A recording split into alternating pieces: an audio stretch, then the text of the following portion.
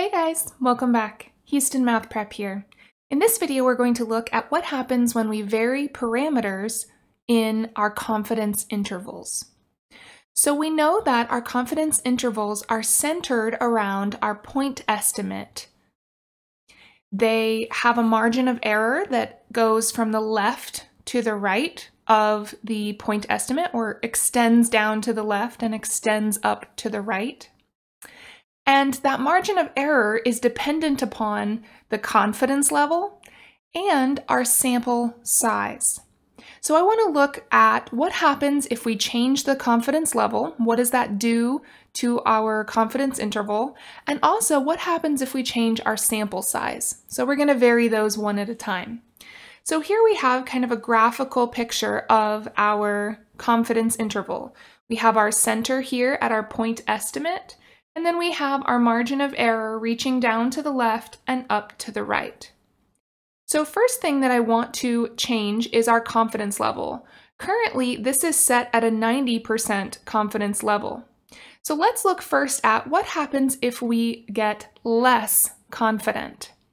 So if I drag my slider down and now I'm 85% confident, and then a little further down, becoming 78% confident. What we notice is that our interval becomes narrower. And that is because the wider the interval or the wider the net, the more confident we can be that we have in fact captured the true parameter. So if I increase my level of confidence, we can see that our net or our confidence interval gets wider and if I decrease my level of confidence, I can see that my net or my confidence interval decreases or gets narrower. And of course, those same statements can be made about our margin of error. As we become more confident, we have a larger margin of error. And as we become less confident, we have a smaller margin of error. Okay, so I'm just going to reset this back to a 90% confidence interval. And let's look now at what happens as we vary the size of the sample that we work with. So right now we are set at 30 for our sample size. If we take smaller samples, then we can see that our margin of error and our confidence interval are getting larger. Remember what the central limit theorem showed us.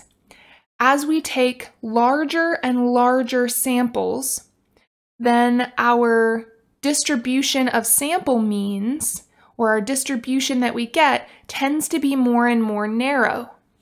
And so the same fact is going to be true here. If we have smaller samples, then we're going to have more variation in those samples, and therefore we're going to have a larger confidence interval, a larger margin of error. If we increase our sample size, then our margin of error and our confidence interval will start to shrink because our distribution around our estimate is smaller and smaller. All right, guys, that does it for this look at how varying the parameters of confidence level and sample size affect our confidence intervals and margin of error. Until next time, catch you in a future video.